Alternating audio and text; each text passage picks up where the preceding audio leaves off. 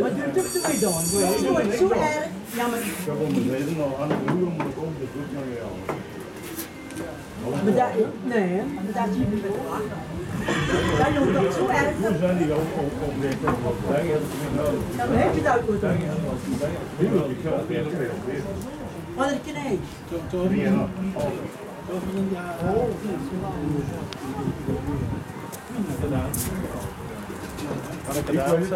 Ja, ja. Ja, maar knijp is niet bij. Bij heupen. Heupen zijn meestal goed, maar knijp. Wirklich maar was fijn.